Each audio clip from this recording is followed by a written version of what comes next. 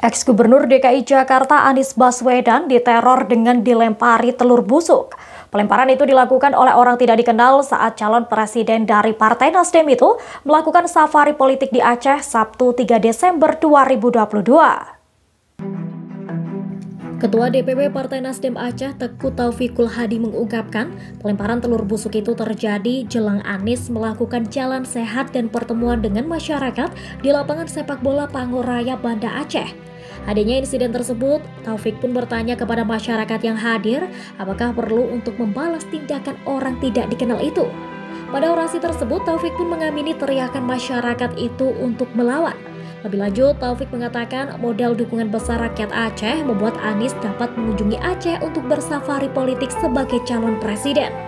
Ex-Gubernur DKI Jakarta sekaligus Capres Partai Nasdem Anies Baswedan saat sampai di Bandara Sultan Iskandar Muda Banda Aceh pada Jumat 2 Desember 2022 disambut ribuan masyarakat dan relawan dari penjuru Aceh.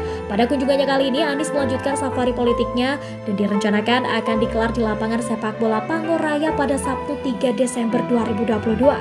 Kedatangan Anies langsung disambut oleh masyarakat dan relawan yang mengatasnamakan masyarakat pro Anies Baswedan atau Monas di depan pintu masuk Bandara SIM.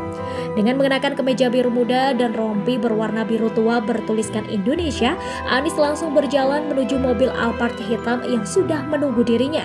Sembari menuju berjalan pelan, Anies terus menyalami warga dan relawan yang menyambutnya. Selain itu, dirinya juga menyempatkan untuk melambaikan tangan ke arah masyarakat dan relawan yang ada.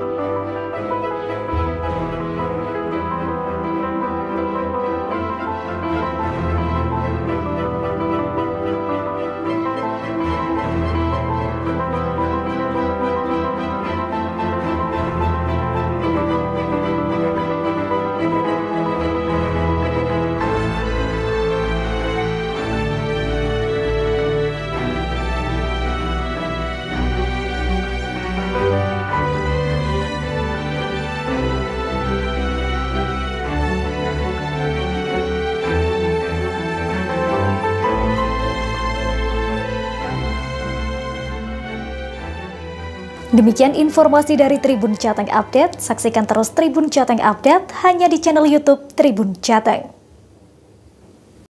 Jangan lupa follow, like, dan subscribe sosial media Tribun Jateng.